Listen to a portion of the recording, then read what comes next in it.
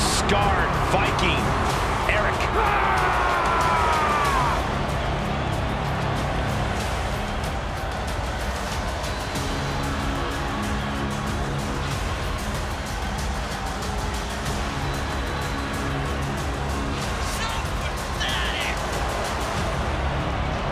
Erik has been looking for a fight, and he's about to start a big one.